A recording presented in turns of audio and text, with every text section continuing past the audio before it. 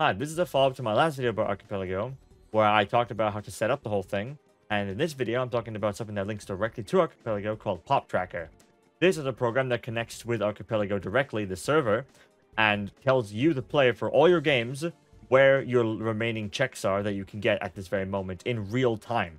So I can be playing, and I know that my map has displayed that right here on the map of where I am in this game, there's an item. If I get it, I got an AP item, and it directly like marks it off as I've already done it. It's now gray. There's no other items at that specific location.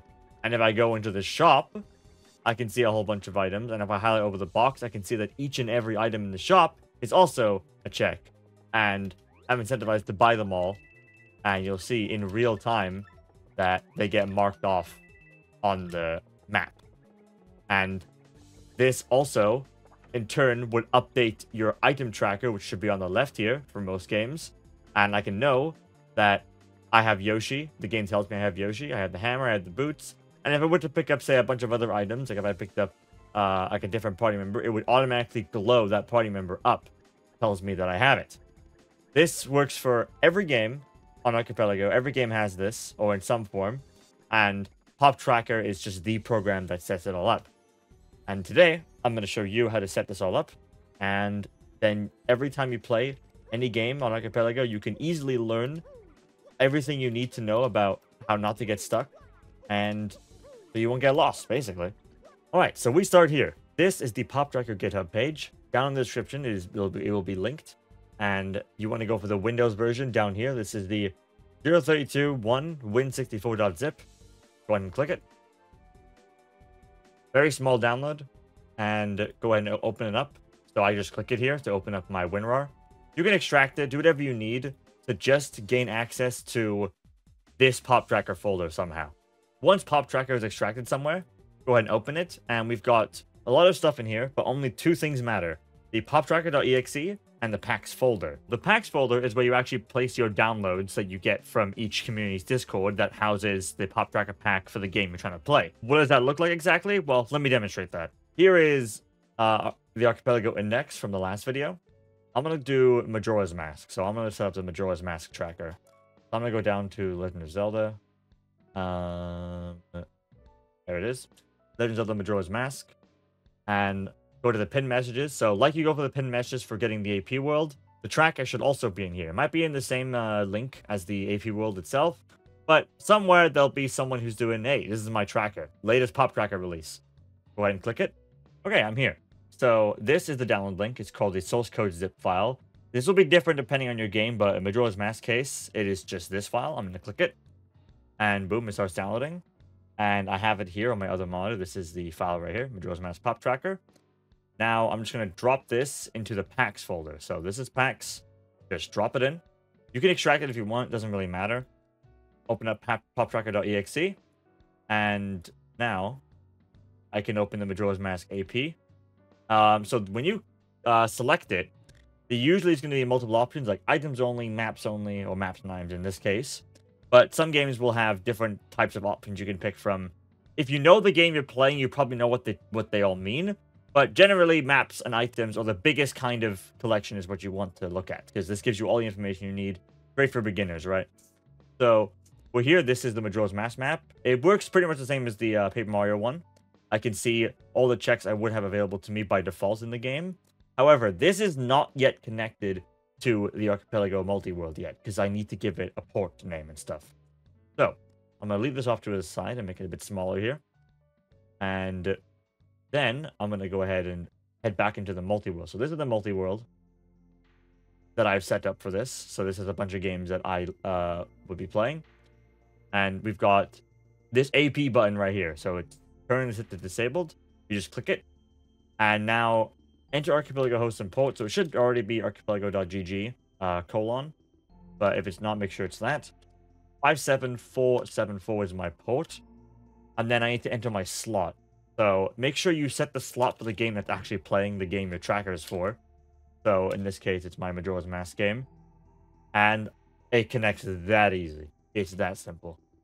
And now all my starting items I set in my settings are checked on. So I have sticks and nuts start with. I start with all the maps. I start with Song of Time, Song of Soaring.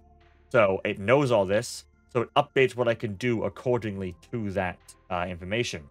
So, for example, if I were to mark the bow, look how much more of the map just got enabled just from me clicking the bow. And this will happen automatically. So you'll find the bow from someone else getting it or you in your own game. And it'll automatically update and show, hey, you can do this one now. You can do this from Shooting Gallery, right? It's going to say, update in live time what you can do.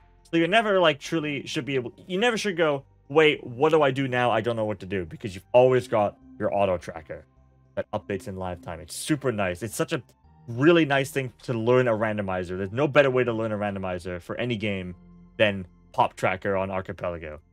I know from experience playing like before Archipelago, having to manually input every check I do, that was complete garbage. But this is great, and pretty much every game you can think of, every game that I looked at at least, had a pop tracker. Obviously, not all of them are going to be created equally. For example, this one doesn't have a very detailed overworld map.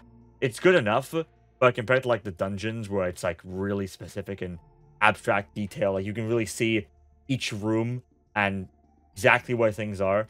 The overworld is not as up to snuff, but this can be improved in the future, right? You know, compared to the Thousand Year Door one that I showed earlier at the be beginning of the video, that's like next level. But for now, this is you're gonna be this is good enough, right? And a lot of games are gonna be like this. Though some games don't need as much information to have on a tracker than others. Like you, you don't need as much info for some games that don't have Zelda-like progression, right? I say this because like you know you got games like Stardew Valley, or even like um, a roguelike game. You don't really need a tracker for a roguelike, right?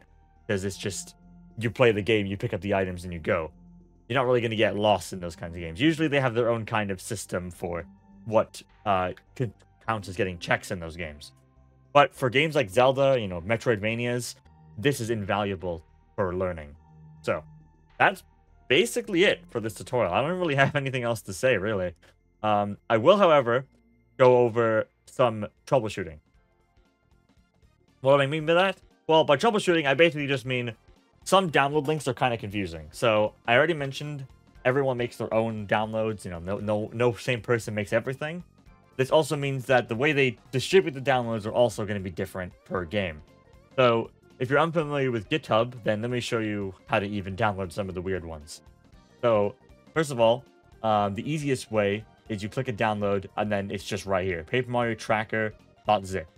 So I would just click this, and I would get it. Boom, it's that easy. But in the, the earlier, for the Majora's Mask one, it wasn't named like Majora's Mask Tracker. It's just this source code zip file. It still works. It's just not immediately obvious which one you might have to click on this page. I mean, I guess it could be obvious enough, but what I'm saying is that not every game is going to name it as such.